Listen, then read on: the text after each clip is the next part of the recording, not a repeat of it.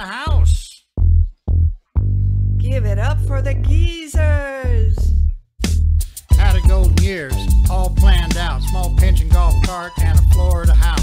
But Congress put a hit on Social Security, mugged us of our dignity despite our maturity. Tax we paid, every check we earned.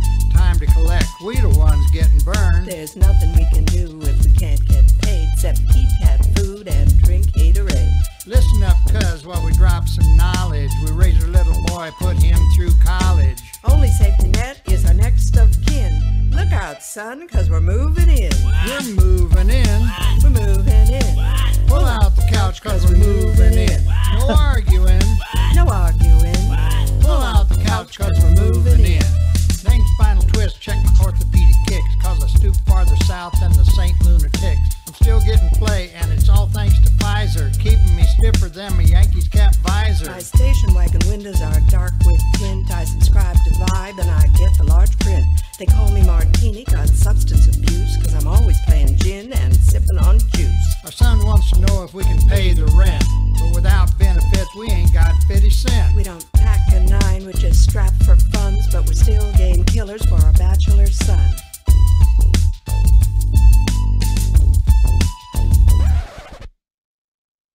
You're out of town.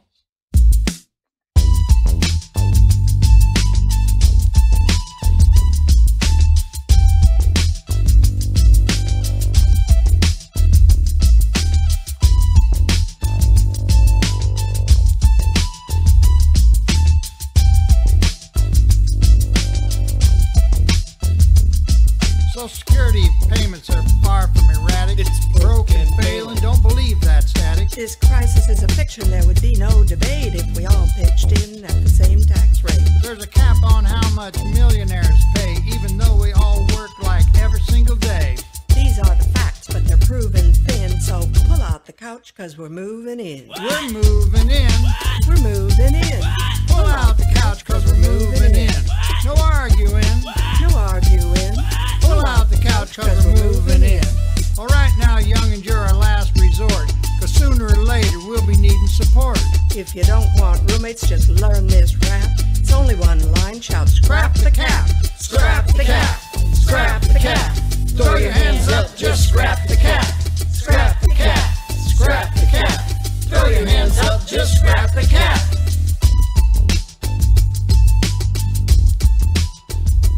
Scrap the cap. Scrap the cap. I love that video. Welcome, everybody, to our Revolution Washington.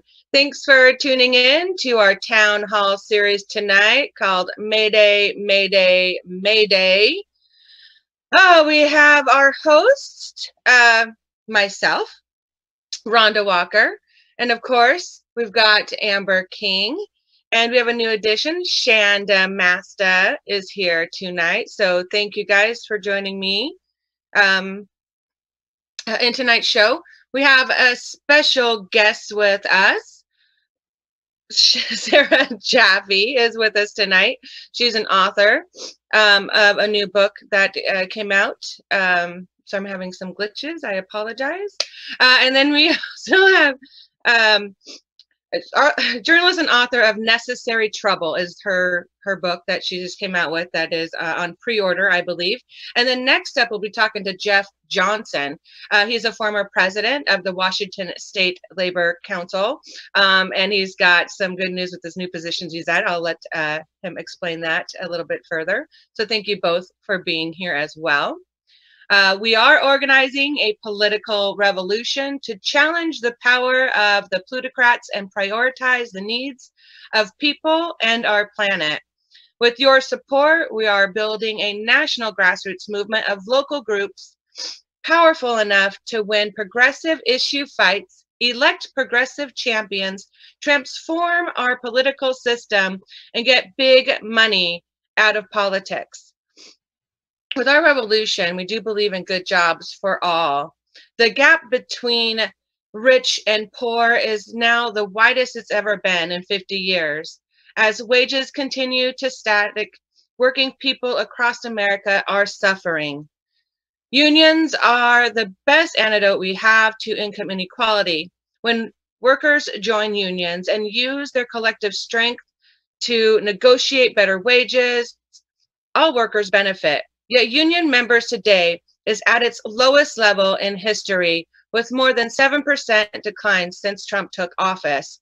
That's why we're organizing to expand the right of workers to form unions, pass a 15 federal minimum wage, and end so-called right to work legislation. We're also fighting to ensure that our taxpayer dollars are invested in companies that create good union jobs in the USA, not firms that steal wages and ship jobs overseas.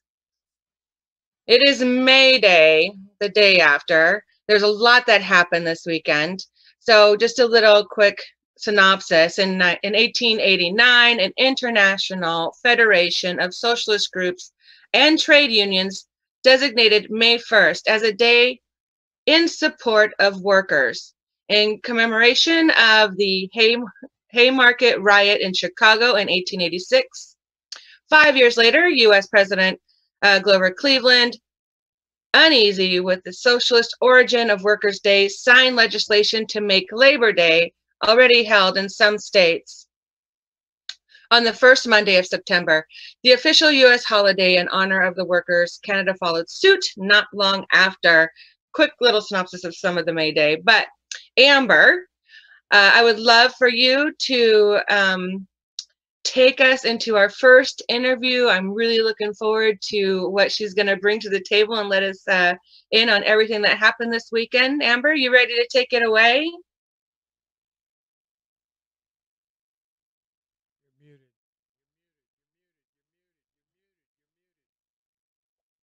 Amber, you're muted. Oh, Amber, you need to unmute. Oh, well, that would help, wouldn't it? there we go. Sorry guys. Amber. Yeah, no worries. Um, I was just saying thank you so much to Sarah for joining us from the East Coast. We know it's late there. So, shout out. I know you've had a busy week and a few days with it being May Day.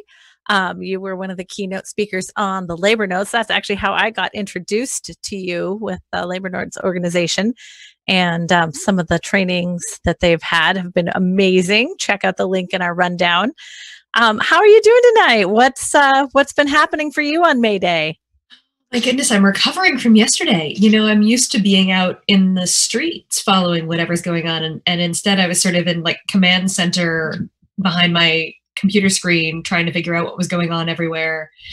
It's a little harder to keep up with right now when everything's, you know, things are happening virtually. You're, you're sort of not sure if the thing you've heard about is really happening. And it's it's a lot.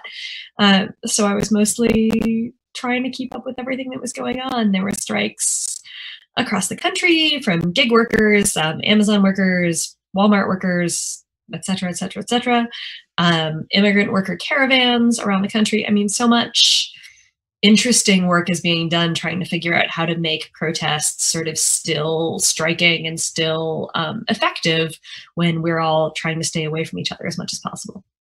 Yeah, it's definitely been interesting having this, uh, you know, socially or spatially distance we like mm-hmm. to say and trying to to close that socially distance cap um, which has actually for me, um, having being one of those workers um, and former several unions, but mm-hmm. also having to constantly work multiple jobs and raise children, that um, I have more time to be able to connect with a lot of people and a lot of organizations that I've only been able to follow. So for for me, it's been great, um, you know, having you know been able to put on these town hall events and and connect with everything that's going on.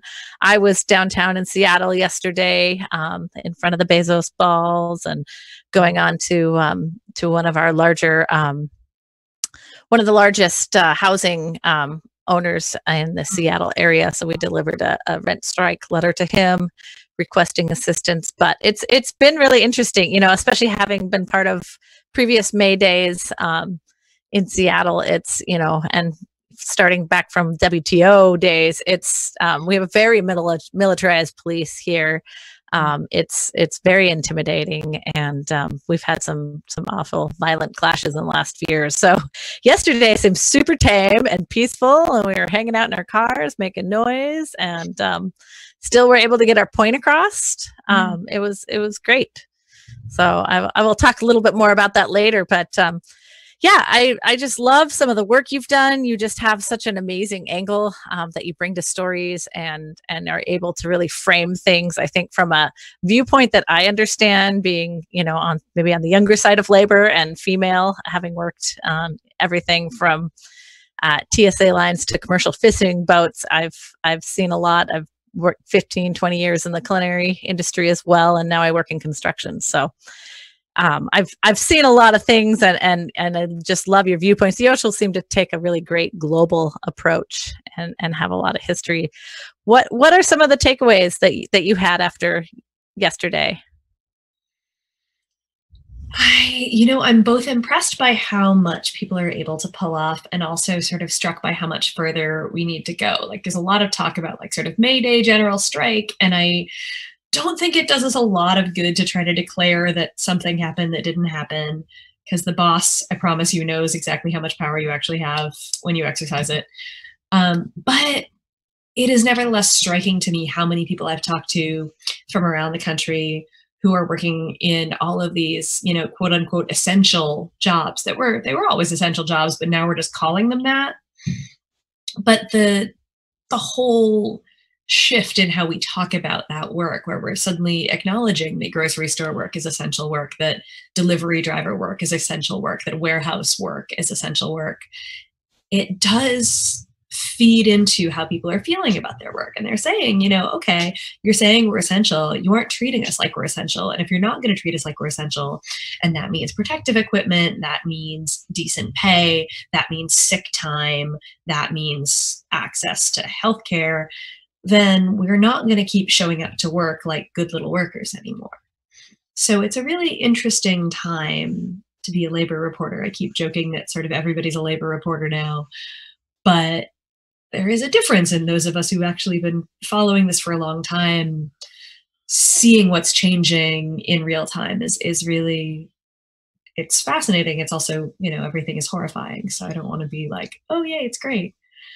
It's a really terrible time too and it's scary for a lot of these people who are still going to work you know in customer facing jobs and you have to just trust that your customers are going to actually treat you well and not you know cough coronavirus on you Yeah, I mean, I one of my first jobs was in a grocery store, so I I definitely know the the hazards that can come along with it.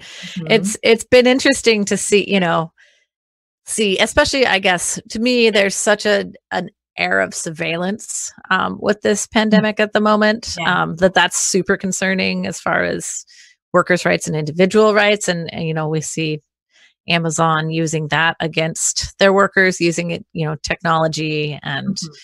um, social media. Um, it's it's really made organizing, I think, a different a different type, you know, and so it's it's caused a lot of, you know, we saw that with um actually with the Amazon workers trying to talk about the environment, and all of a sudden now they have an NDA, they can't can't Yeah. speak upon it. Um, but it's you know it's actions like that that we see that keep happening, or you know younger employees or people that just haven't really ever been empowered in their lives, but you know put into these gig economies and you know just don't know the ropes i guess as well as say like my grandparents who you know almost everybody had at least one union job in the household so it's a really different dynamic Yeah, I mean, we're in a moment where a lot of, for a lot of people, we're at, at something like 6% public mm-hmm. or private sector union density, right? That means there's a very small number of people who've actually experienced a union job. And we've seen some growth on that front, right? Like the only thing that's kept the labor movement from just like falling off a cliff in the last few years has been young people unionizing in a variety of workplaces from Starbucks to my industry and journalism. But now you know we're we're in this place where you've got 30 million people applied for unemployment in the last few weeks or last month and a half. Um that's that's bonkers right? That's what one in every you know however many workers. I'm not good at math. But like so we're talking about a third of the workforce laid off that should be a moment where labor has very little power. But at the same time, like the people who are still necessary, the people who are still going to work now in these jobs that again are, are now deemed essential. Um, nobody's going to rush in to take those jobs, right? When you might get a side of coronavirus along with the French fries that you're serving at McDonald's or at the warehouse job, right? So the people who have been in those jobs actually do have a level of power that, again, is being amplified by the fact that we are all calling them essential workers. You know, when I drive through Philadelphia to go to the grocery store, there's billboards up saying, thank you, essential workers. And it's not just healthcare workers, it's also saying grocery store workers, right? So I think we have to think really hard about this moment and the things that like people are being asked to risk by going to work every day and how we support that and their the actions that they want to take to challenge the conditions they're being put in. Yeah, no, I totally agree. Shanda, what are what are your thoughts on all of this from, Uh, from the pieces you've seen? Yeah, I am I, on? Okay, so I've got so many questions. You know, I have always been, like you said, only six percent have experienced a union. In, in my life, I've always worked those jobs that are unionless, and you better not talk union, or they'll just fire you. So, you know, with the, in light of these NDAs that we're seeing, say like Amazon make workers sign Mm-hmm. what's to just not have every employee put one of those out and our people can never unionize and what is the number one thing somebody who is just a grocery store clerk who is not unionized because you know I was a clerk for 20 years but I worked at gas stations so I mm-hmm. didn't get that type of representation what's the number one thing they can do The number one thing that people should know is you don't have to be in a union to have your collective activity on the job protected by law. So you can still go on strike with your coworkers if you do not have a union. You can still organize and make demands on your boss with your coworkers if you do not have a union, and that is legally protected. Now, granted, the National Labor Relations Board hasn't been really that functional for quite a while and has only gotten worse under Trump and has only gotten worse under Trump and coronavirus. But that said, you don't need a union in order to act with your coworkers to try to improve your job. And that's what we're seeing right now, right? A lot of the strikes that we've seen in the last few, the last month or so, um, have been led by non-union workers. We're talking about Amazon warehouse workers, Whole Foods workers. Um, again, I mean, there are a lot of grocery store workers in this country who are still unionized, but the majority of them still are not and yet people are are taking action in those spaces. So i think it's really important to remind people that like you don't have to be a member of a union in order to um, I, I like to call it the newsies rule. If you know the the movie and musical newsies um, the line where he says uh, well if we strike then we're a union. Is not wrong if you act collectively with your coworkers you are acting like a union and so that's what we saw with like the Red for Ed strikes in the last few years. In a lot of cases, you're dealing with non union workers or workers whose unions don't have collective bargaining rights, but who still manage to act like a union and wielded a tremendous amount of power. absolutely i agree so much and um, i i personally think that all of these essential workers that are being deemed essential now the fight needs to begin today now that they get the pay and the coverages that they deserve because they've been deemed essential Yeah, I mean, when we're talking about trying to reopen the economy right now, where we don't have a cure for the virus, we don't have a vaccine for the virus. So that means, like, you know, when, when elected officials are acting like the peak is like a thing that just happens, and then after that, we're through it. It's bonkers, right? Like the peak is because of how many people got infected, and the lockdown is a thing that that subdued that. So if they're trying to talk about reopening right now without giving everybody in a job that is facing customers proper protective gear, that's that's just going to result in another wave of the dis- the virus, right? So we need to really be thinking as people are turning to this, you know, argument that we need to reopen to save save the economy. The economy is just people. Right? Like we it's not like a monster that we have to feed or else it's going to eat us all. Like it's just how we organize society. And currently we do that around markets and maybe we could do that a different way. But to talk about reopening right now without giving all of these workers proper protective gear, sick time, the right to go home if they're not feeling well. I mean, I, that's not even nearly enough considering this disease can be, you know, asymptomatic for weeks or forever and still be spread. But I'm learning so much because I keep talking to nurses. That's amazing. And I mean, we're still in a position where I'm talking to nurses who don't have enough protective gear, right? Let alone like enough protective gear to give every clerk at the grocery store an N95 mask. Like nurses don't have enough N95 masks still, right? Doctors don't have enough N95 masks. Like we're still in a position where healthcare workers are demonstrating daily, weekly to demand more protective gear. Like we're just not anywhere close to being able to actually reopen without making sure that we protect everyone. Well, and we're also seeing like states starting to, you know, hoard and divert shipments because the feds were coming in and taking their PPE orders. So, I mean, it's just bonkers, right? such a broken it's system.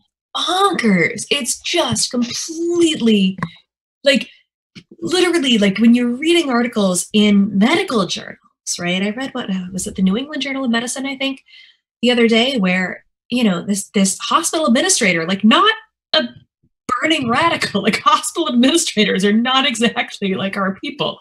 Um, was writing about like, oh, we had secured a delivery of these N95 masks and we get to the plane to pick them up and like there's federal whatever is trying to take them from us. It's just like what the hell is even going on here?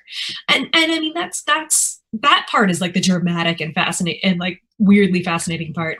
But the sort of less dramatic, more boring day-to-day operation of capitalism part of it is that we have this entire supply chain for like everything we rely on that's built on on just in time delivery which you would think if it's all built on just in time that we would be able to turn it around really quick and make the things we need except it turns out that that's not what just in time means at all what just in time means is just like they don't want to have it in a warehouse for any downtime at all. They don't want to have any slack in the system. You don't want to have any sort of equipment stockpiled anywhere that might not get used. And so we're seeing the results of that kind of system right now because we don't have enough supplies when demand goes up for healthcare, right? We we already have a healthcare system that doesn't that isn't designed to treat every person, right? We have a healthcare system that's designed to treat most people who have some sort of insurance, not a healthcare system that's designed to be able to treat everybody who gets sick. Yeah. And again, we're seeing in real time the results of all of these systems and how they're not set up to serve people, they're set up to serve profits. And everybody needs a new washer and dryer every six months and a new car every three years. And and we shipped all those jobs overseas. So that's a piece of it. You know, I'm I'm curious, especially coming from um, you know the culinary industry and looking at agriculture as mm-hmm. well as heavy machinery and pieces that are solely almost made overseas yeah. um, you know do you think this will bring back some of those manufacturing jobs in a in a better way to the us or are we gonna is it just too expensive things, one of the things i've been thinking about when we're talking about these states that are saying they're going to reopen we're talking about georgia we're talking about south carolina i mean you're in washington state right you know that like outsourcing isn't just to other countries, it's also to non union regions of the US, right? Because Boeing packed up and went down to Nikki Haley, South Carolina, where Nikki Haley talked about kicking the unions out with her high heeled shoes on, right? Um, and so when you look at at you know Kemp in Georgia saying we're going to reopen, like one of the signals they're sending once again is we are willing to risk working people's lives in this state in order to protect your profits, and they're going to send that message to companies that are in states where the governors actually maybe acted like human life had value, and hope that they get more of those companies shipping inside the US. So like it's not just a problem of, of going outside of the borders. It's also we have a massive problem with just like moving jobs around the US, right? And moving away from where you might have some labor protections, where you might have some, you know, leverage and and yeah, and so to think about supply chains and how we're going to have to make them sustainable is a huge question that I'm sure you don't have time for tonight but it's it's one that we need to be thinking about in the upcoming time of climate change that coronavirus is maybe accelerating how we think about um, that we need to think about it in terms of sustainability for all sorts of reasons not just to protect jobs but to protect again life right like how do we actually make sure our economy is built around keeping people alive not just keeping people in money and or, or enslaved in debt. yeah, um, right. And and you know, again, when we are talking about these these states saying they're going to reopen, one of the things that happens if they are now if companies are not legally mandated to be shut down anymore is it can kick workers off unemployment insurance. You can kick small businesses off of small business. Um, funding streams you can say oh you should be reopened now you shouldn't have any problems anymore right you should be doing great and that's going to make people have to make the choices on their own now, right? Without any protections, without any support. And you're going to force people into some really awful choices. And so this is a time where we need to be thinking about not like, oh my God, those people in Georgia are our competition for jobs, but those people in Georgia are being asked to risk their life for jobs because our governor is maybe not quite as willing to put our lives on the line for those jobs. Yeah, I mean we've we've seen a lot of the ICE actions too for people mm. who who don't have legal status, and that's just yeah. been horrific and affecting um, our supply chain. And I always like to think, especially in terms of food and and everything, that we just need to shorten them, and and hopefully there'll be a new wave of cooperative restaurants opening and cooperative employee owned small businesses and that people will learn to organize in that fashion going forward because it's taken out so many small businesses. So thank you so much for joining us tonight. I know you have this awesome book. It is on pre-order. How what else can you tell us about your book and where to find it and where else can people find you? So you have Necessary Trouble on the Screen. That book is out there. You can buy it. There is a chapter about Seattle and Kshama Sawant in it. Um, and the new book is called Work Won't Love You Back. And we literally just like launched a pre-order page for it this week, which is why nobody has information about it yet. Um, but it is about, well, how work won't love you back. It's about this expectation that we will all love our jobs and get all our fulfillment from going to work and how bosses use that to wring more work out of us for less money and in crappier conditions. That is awesome. Thank you so much. Thank Are there any questions out there? Thank you, everybody on YouTube, Facebook, Twitch, Periscope. Am I thinking where else are we at? We're, we're streaming all over the web, interwebs tonight. Are there any questions for Sarah that anybody sees? Oz or anybody else? I was looking on on uh, YouTube. I'm not sure if um, Franklin's sending anything to Oz right now, but there wasn't anything majorly as far as questions asked, and there's more of just responding to uh, what was being said, and you are definitely loved, Sarah. Um, I asked if anybody had any questions for you, and Human said just ask her to come back. oh, I'd love to. awesome. Yeah, so they seem to be pretty happy, but um, nothing that's like like a major question. I think they're just excited about getting a hold of your book. Yeah, and I, you know, I think just the whole the whole conversation, like we just haven't had enough conversations with labor in the forefront, especially in this election cycle. Like we talk a lot about supporting unions and labor, but we really haven't been able to to really dive deep into the what that means. And so, thank you so much again for helping open our eyes and entertain our audiences. And I know I'll be looking forward to your book, and we'll make sure to have the new book link uh, up in our rundown as well. Thank you. It was great chatting.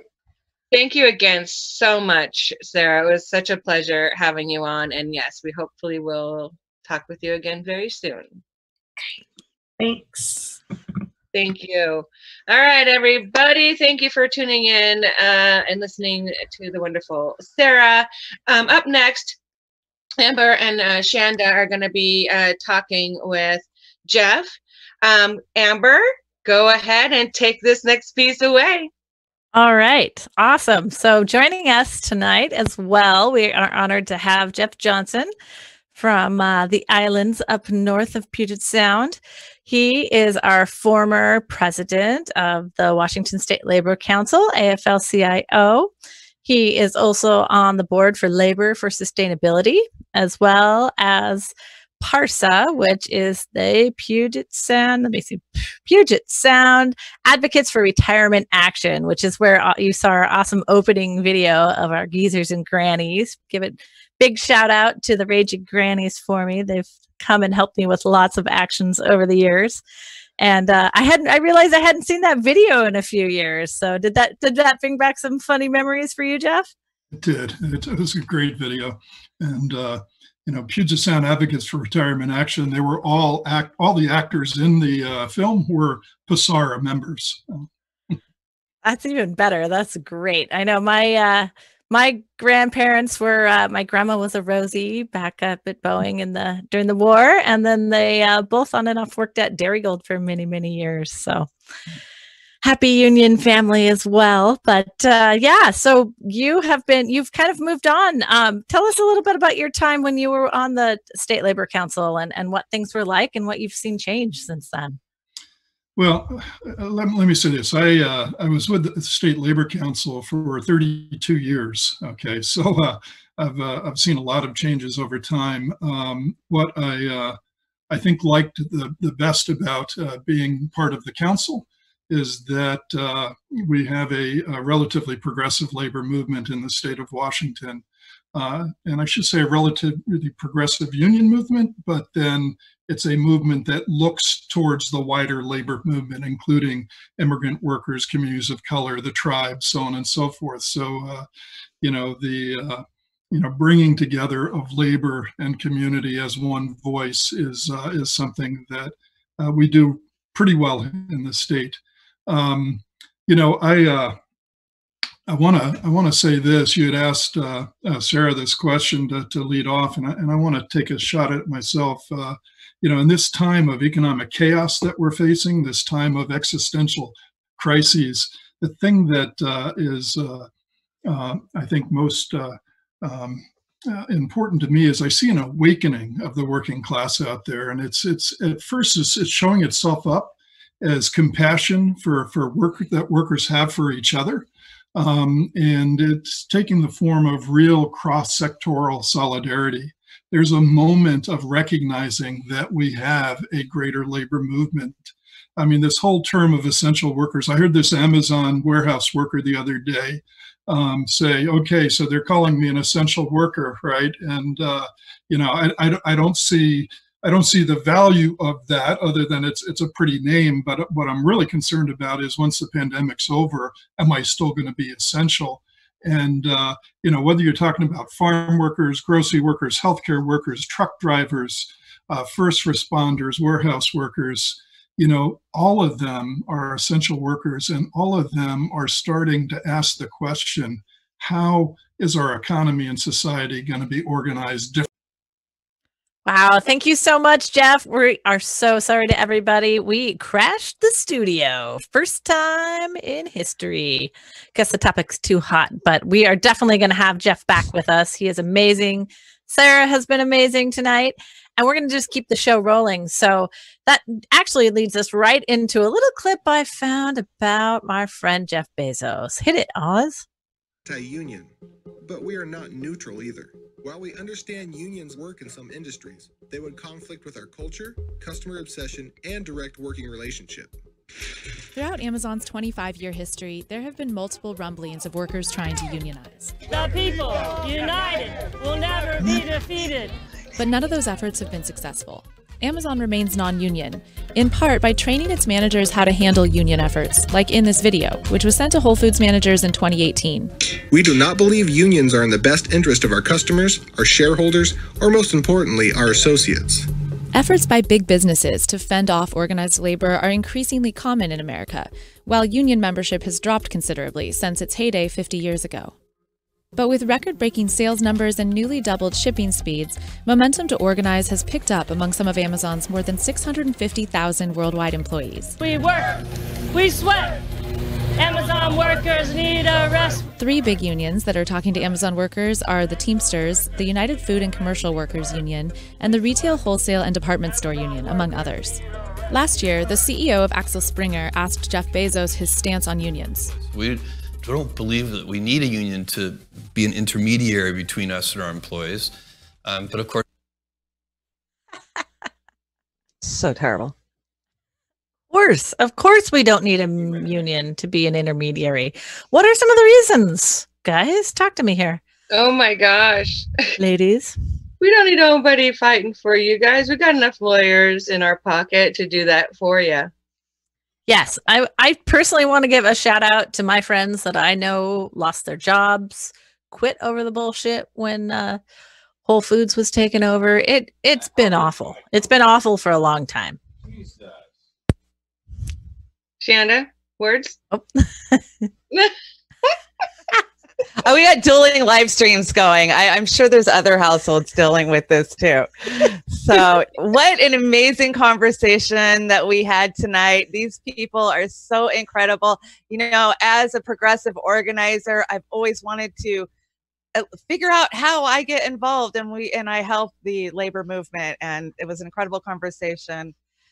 Yeah, you know, Jeff when he says it is especially damning to our uh, associates, please. Yeah, we've seen the kind of care he's provided so far, and it's appalling. It's I don't what did they say like three three people now have died at Amazon factories and Five. plants. Five. Five. Yeah, it's it's insane. It's insane. They're you know what for two bucks an hour? Yeah. right? Essential, essential package handlers. That is a back-breaking, awful job. Awful job. I mean, it's it's insane. I, I mean, there are worse, but it's not for for that kind of pay for the terrible benefits. And and I do insurance billing. I know what kind of benefits Amazon gives you in your tiered system, and it's a lot of money. I've had so many people come in for services that were from other countries because they entire you know entice a lot of overseas workers um, burn the crap out of them after their two year stint and leave them completely broken, unable to get health care because it's so expensive and and you know, ship them off back home. You know, Yep. it's it's insane. It's insane to me. Um And So if we're what- going to coin this, you know, essential worker, it's time that if, if you're a, an essential worker now and in a month, you need to be getting paid to be that essential worker. That name should carry on with them. I absolutely. agree with that. So what else have you guys seen um, on May Day? Obviously, was yesterday. I was downtown at uh, the Bezos Balls, affectionately named here in downtown Seattle. The Bezos And- balls? Oh yeah, yes. Right. Sorry, Biosphere would be Oh, the, biosphere. term. Okay. Thank you. But they are known as Bezos balls Bezos because they're two giant balls in the middle of his complex that he's built. Um, and so, you know, essentially we were protesting, obviously, that uh, they pay no taxes.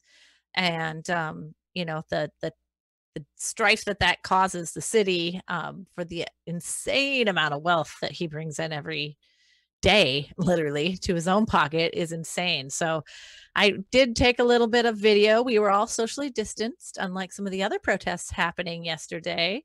Um, you know, for ha- for myself, having been involved in a lot of May Days, like I said earlier, it was pretty mild. You know, it, it brought the kids and the dog, and we were, you know, we had a good time. We were blasting music, and uh, everybody had our masks on and our signs up, and there's people on motorcycles, bicycles. Um, we blocked the traffic. The police were actually not awful to us for the first time in many many years so yeah it was it was, kind of interesting and especially seeing some of the the right wing protests that have been happening about the shutdown and how they're reacting to police presence. And you know as somebody who was at WTO here in Seattle like I can I kind of just chuckle a little you know? It's it might be their turn to realize what our militarized police zone has has become. And you know we know how to get permits now and we've we've done the paperwork to to know what to expect and how to stay safe in a crowd and and be uh you know be effective at what we're trying to do so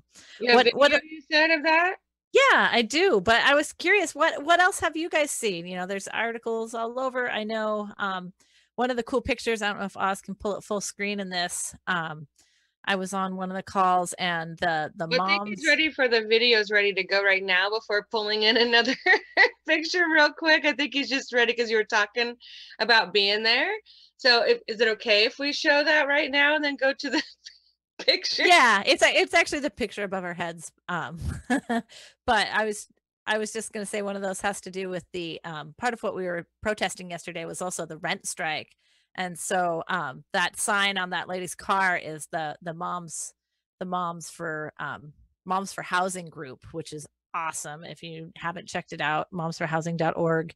And that was down at the port in Oakland, California. So obviously, this is, of course, impacting, um, you know, people's ability to pay rent, pay mortgages, and most importantly, impacting women and children and minorities, people of color, those without legal status. And we are most concerned about their abilities to stay safe and stay housed and care for their families. So, anyway, if you want to roll the video, and we can That is a chat about. really cool picture. Sorry, I didn't know that was already up there. I was like, I just saw him just trying to put that up. But that picture's pretty freaking awesome looking. yeah they're an amazing group so it's uh it's it's pretty amazing. I know all of us are involved in a lot of different things but yeah if you want to play a little video and we can chat about what else we've we've seen um, from this may day.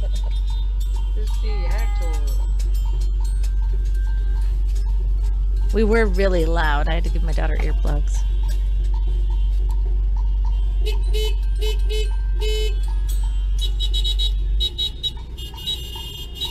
People of all ages that's what's really cool we even brought the dog today. She's decked out in our revolution gear representing finally and behaving herself considering all the noise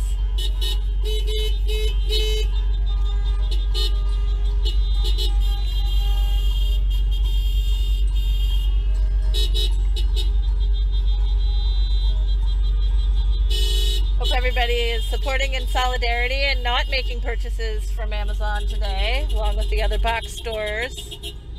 Supporting our healthcare workers and our essential workers. Ooh. Hey!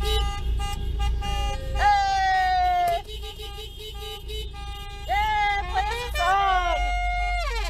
Oh my gosh, I gotta get this. Uh, woo! Play us a song! So that that was pretty much it. That was that was the Trumpet scene. We we were at the players, Bezos balls for about an hour, and then we um went up to the ask happening there? the well, the ask was to tax tax Amazon. They pay zero city taxes, zero state taxes. Washington, for those of you listening, has the most regressive tax system in the country. So those of us at the very bottom pay the most, and those at the very top pay the least. And uh, it has to change. It absolutely has to change. It's insane. And then we were asking for uh, stay on rent, of course. That um, we went to one of the largest owners of of not commercial but non-commercial um, properties in the city and asked for a a rent stay from his I think over five thousand properties. So we did a little parade. It was a couple miles, and then we um, blocked the streets there, and we were jamming out to music. And Kshama Sawant was there with, um, you know, all of our awesome activists, Extinction Rebellion, a lot of our, a lot of, a lot of my familiar faces that I see in uh, many actions for the last twenty years in Seattle. What else did you guys see around uh, around the interwebs and around the country? Well, you know, we got this really great uh, group on Facebook right now, oh, and Twitter called Corona Strike. And um, it's founded by members that have been in the movement for years. It's basically just one central location where we can go and find out what's going on in your neck of the woods, you know. And so you can find it at coronastrike.us is their website, or you can check them out on Facebook or Twitter you know you scroll through there there's great activists posting what they're doing locally what they're doing regionally that's a great resource Awesome. Oh, I've seen just lots of stuff everywhere. Um, I just, uh, it was hard to tune into all of it, but we shared some things out. Um, I was, you know, working on getting ready for today, so I didn't join in a lot uh, personally, but I saw a ton. Yeah, I feel the same way. I just watched from home. I was Amber. I was so jealous watching you guys out there. I'm like, oh, I want to be out there so bad. yeah, no, it was good. And I and you know, we have some other actions planned. So I want I really wanted to see how that went. Um, I do know that some that they were um caravanning all the way to Olympia. Uh, there was a lot of protests down there as well in a same same car protest style. Um, How do I you think, think that's great. working out? The car protest style. I, from home, it looks like it's effective, maybe even more effective than when we're just on the ground. It is. It is. I mean, I don't like the fossil fuel resources being spent for it, but we're able to physically cover enough ground and and be effective and safe and spatially distanced. True. Um, but still be with each other in camaraderie and solidarity, which to me is awesome. Yeah. And and you get to make so much more noise, you know. It's like I don't what I was saying. I've Wow, had, you like- got your radio. You can blast a bullhorn out the window. I was like, well, we could be really loud this way. yeah, we it's way louder. I like um, the you know. idea, but I'm still a little bit hesitant just because, you know, it still puts a possible, you know, something happening liability. in the way if somebody's car breaks down. If you know, I mean, it just, I mean, there still is the idea and and all of that, and and if it's working, that's great. But I still, if you really want to think about it, I mean, I don't know. I, I I'm iffy. I'm I'm torn between uh, going out and doing that and just trying to be as safe as possible and you know buckle down. So Well, we actually like down aspect of the group, but our group is is out there. We i mean to me it was super fun having done this a lot with like the the frankenfood cars during the 522 battles um, and the other food labeling initiatives. It's it's a really fun way to get a lot of excitement built. Um, we actually saw somebody some guy fell on his bicycle and like three cars pulled over and were like helping him. Like he was totally like stunned and so we were out there providing aid, you know, and the cops are just like cruising on by, you know. So it's like I I feel honestly like it it's it's a better show of support and people came out of their apartments that, you know, were maybe trying to work from home or wondering what the heck's going on because it was so loud and it was so visual and like people who had roof racks were up dancing on top of their cars and and the police you know that have been so super militant and awful and expecting violence for so many years Oh yeah. just kind of stood back and watched and you know they were on bicycles so it was Yeah, to right. me you that was cars now. I mean, I- yeah it was way less intimidating in for these myself main protests, our, our goal is always to stop down the flow of traffic, right? We want to take an interstate. I, I've been in many protests where we're like, head for the interstate, but we could literally just shut an interstate down by the volume of people we bring. Yeah, and it was good to just like pick your spot, know your route. And then we used a lot of the bicycle people as we moved through the city to to help, you know, because people get stopped at a light or you know not sure where they're going. So we they had people spaced out along the path with the bicycles that were easily visible. And there was a lot of great homemade signs, there was a lot of press. You know, it's a very visual aspect and you know, having organized a ton of these events, I think it was super successful. I think you're going to see a lot more of them. And, you know, we see these people having parades for birthday parties or for, you know, seniors graduating that's happening right now. And so, noise parade, I mean, I don't know. I grew up in a small town where we had noise parades when, you know, we won the regional basketball game, you know, and they'd bring out the fire department. Like, it's it's been a thing and it's been a thing of solidarity you know the whole like come out at eight o'clock and bang your pots and pans that was started by labor. So it's it it and and i you know i was kind of like hesitant because i didn't want that to be so co-opted of just like yeah we're gonna you know make a joyful noise but there there is some some levity to that and that it's a it's a huge moment of solidarity and i know everybody had fun people were dancing i know i was going live so i couldn't um blast my music so loud but the rest of the time i had my awesome playlist rocking and and we we had a blast it was fun Nice. They look like Excellent. so i look i look forward to more All right. Anything else going on? Another know the um red strike's still happening, from what I hear. Yeah, we've got. I in fact, I wanted to update. I think we now know 37 million people filed unemployment this week. Wow. And again, we know that's a wrong number, so it's probably pushing past 40 million.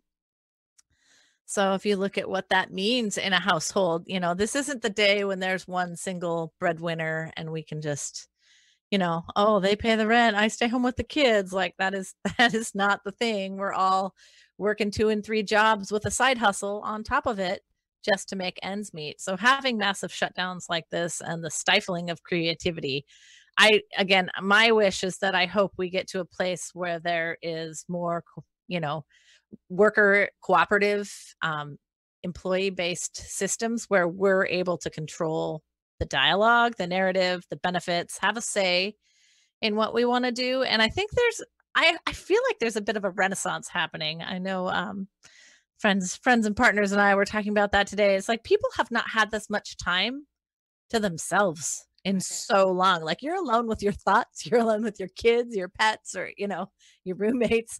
You know, it it gives you time to really reflect on on how you want to live your life and what's important and what matters to you and hopefully be creative and hopefully you know really push the mutual aid piece. I hope you're all gardening and you know really enjoying the space that you're in and if you're not really asking yourselves how you can improve that for you and your neighbor. I got some little babies that just popped up today. Yes, gardening and mamas. creativity. Yeah, that, that's really the creative juice has been flowing lately. You know, like okay, let's get in. I don't have time to paint. I don't have time to do the things I used to do. Now I do. yeah so i i hope there's a rebirth you know not only for you know a green labor based economy and shortening of of the supply chain but i hope that we're having having some some reflective moments of you know how do how do we care for ourselves and how do we want to make this world look going forward? Um you know also hint reminder you have a week and one day until mother's day out there. You all have a mother. This is your reminder. you all know a mother? Yes. Um having been part of many moms groups.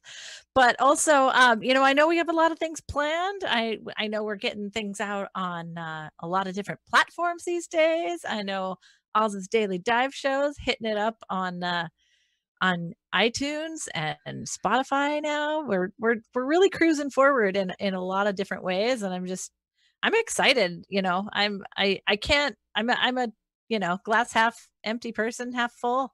I've got to i've got to expect the worst and hope for the best and and plan for the future I'm excited. I'm seeing this movement uh, adapt uh, the way it, that it needs to.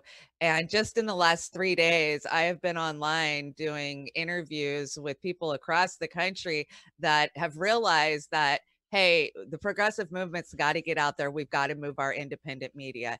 And that means even if you don't like being in front of the camera, sometimes you just got to suck it up and, you know, get those stories out there get the information out there get our platform out there you know this is how we're fighting and i i i don't know it's not like we didn't know we needed to do that because we did and we have but this lockdown has changed how we are doing that Yeah, I'm I'm so happy that we started dabbing our toes in this medium a couple years ago um, and just been hit and miss on trying to figure it all out because we do feel much more comfortable with it right now uh, when others are just trying to figure it out. So I feel happy that we went this direction. Um, we're still learning, of course, um, but we, you know, I know Oz has, you know, been really working, you know, with other organizations, with other groups, um, you know, really trying to form this federation of independent media, and it's very important. So if anybody at all is looking to get uh, involved in that, or or have done pieces to that. Uh, reach out uh, to us. I mean, it's it's happening. Uh, also with some radio things going on. Um, I mean, it's it's it's we're really building up. So just reach out. Let's all get connected and start figuring out how we can get all these shows together in one spot and protected. and how would they do that rhonda how are they going to find us Well, one way would be just to email us, WashingtonBernieKratz at gmail.com. But you've got uphillmedia.org. And actually that one's that one and probably the Bernie Kratz is probably the best two to email. Otherwise, you can go through and message through uh, the website has this and when you go to the website on uphill media you can you know contact us and uh, reach out through there Awesome. Oz, And is and there a particular one you would prefer for you directly My Patreon account would be fine. yeah oh, there we go yeah, that you'll find that in most rundowns I do, unless I forget. Bad. on me. Roar Media. Roar Roar, Media. Media. is is the Patreon that really does help support Oz's piece uh, with with all the things that he does. So not just Uphill Media, but with you know the coalition and with I mean it's just so many things. So yes, Patreon for Roar Media to help support Oz's uh, time. Oh, would be amazing. investment, Yeah. equipment. Instead of calling it t- two buck Chuck, just call it two buck Oz on on on Roar Media for, on his Patreon. Two bucks a month. That helps keep the lights on for everybody that I'm working with, and you're all wonderful. Thank you. Yes, please. You can find that in the le- rundown as well. So yeah, so you know, it- that's what needs to happen. A couple bucks here and there from people who are, you know, think what we're bringing to them is at least is enjoyable and or informative. Um, hopefully both. Uh, to keep us going uh, a little bit to Roar Media would be beautiful. So thank you very much. yes, 99 cents for the 1%. Yes, and then don't forget about uh, other things that we're doing. Um, we are trying to put them out on YouTube and Uphill Media as far in advance as we're able to get them ready. Um, but otherwise, uh, in the rundowns, there are links to all the different things that we do. Uh, next Saturday for our town hall will be all about anti-corruption and election reform. Uh, we've got uh, a few wonderful guests coming to that. Uh, one being Cindy Black. Um, and I just got a confirmation of another, so I didn't have time to put the name right in front of me. So I apologize, but it is from ranked choice uh, voting. So uh, we'll be talking about that. Um, fair vote. So it'll be somebody from Fair Vote uh, talking about that piece. Um, and then uh, Monday through Friday, we meet at 11 a.m. and just kind of a community uh, kind of um, update. We come together and, and just check in with each other. Um, every day kind of varies. Uh, Sunday nights, the first uh, three normally in the month is our statewide meetings where we get updates from the the groups on the ground um, and organizing pieces. Um, phone banks every Thursday. Those are very important. Join us on those. We do meet up right beforehand. We train and then we all call together and then we come back together and talk about how they went. It's actually a pretty fun time. I'd love to see you there. Um, so anyway, there's lots of things to join us uh, for. So please take a look um, and we'll see you in one of those. Um, I know that Sharon Abreu uh, put together another song for us for tonight's town hall, and I have not seen it yet, and I cannot wait to see how it came out. She is a beautiful human being. Oz, are you about ready to to to play that? Yep, we're good to go. All right. Thank you again for joining us tonight. Thank And the you, name? Amanda Masta, for joining us as a special Thank guest. you. We're going to see more of you, is what our plan is. And Amber, thank you as always uh, for taking your time and, and making our shows as complete as possible. Yes. And I was just going to say one thing we didn't get to talk to Jeff about that we most definitely will when we bring him on in the future. That this song is called Just Transition, which is about making that just labor movement involved transition to a Green New Deal and a renewable future. So thank you again, everyone. Have a great night. Hi, we are Sharon and Mike, the Earthlings duo from Orcas Island, and we'd like to do a song for you from my one woman climate change musical show. It's called A Just Transition. We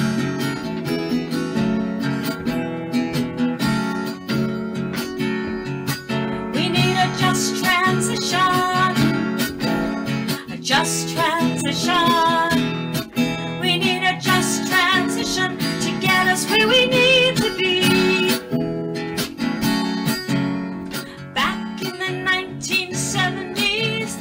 super fund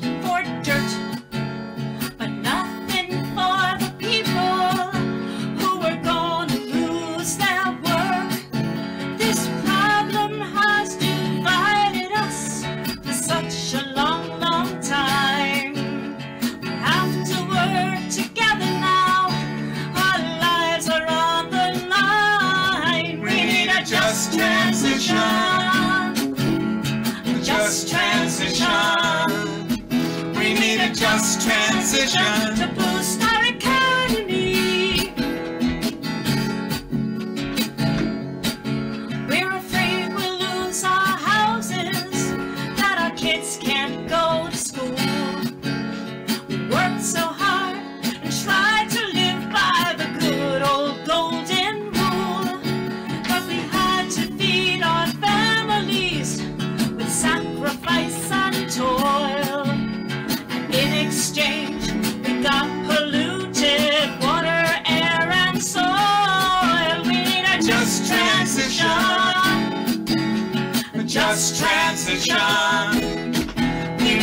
just transition. To take care of our